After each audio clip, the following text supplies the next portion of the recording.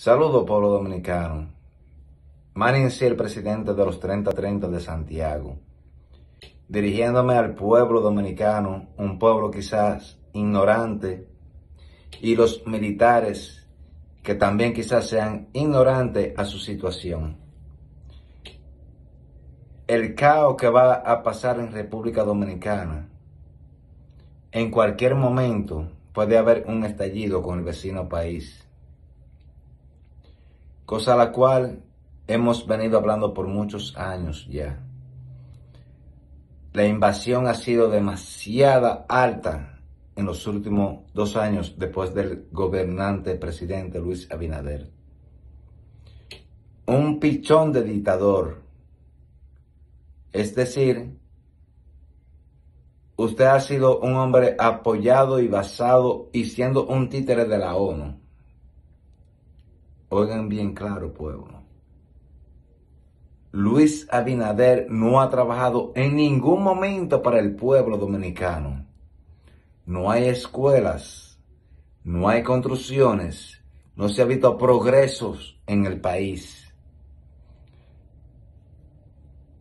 Y esta gente tienen ahora mismo militares haitianos reemplazando nuestras fuerzas catrenses.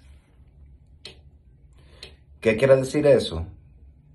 Militares, ustedes hicieron un juramento para, para defender la patria, para pararse de frente a cualquier mandatario y decir no. Si usted está mal, no. República Dominicana es de nosotros los dominicanos. Pero hay un pueblo ahí detrás, un pueblo, el pueblo, lo que le llamamos el pueblo que sacamos a Danilo Medina. Es el pueblo que se ha levantado también y ha sacado a otros pichones de dictadores. Cuando el pueblo dominicano se levanta y se harta hace, como decimos nosotros, un desacato.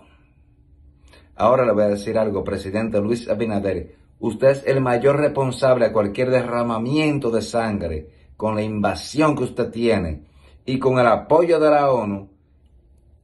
Es el pueblo que va a ser su defensa a defender sus territorios porque nos están invadiendo y nos invadieron ya entonces no somos responsables. Patria o muerte. Y militares, ex militares, la patria de nosotros. Vamos a luchar por ella. No la desamparemos y no dejemos que estos malditos traidores entreguen el país a la ONU y a los organismos internacionales y que ellos hagan lo que les dé su maldita gana. Patria o muerte Aquí va a haber plomo por las cuatro esquinas y mucha candela en defensa de la patria quisqueya, la bella.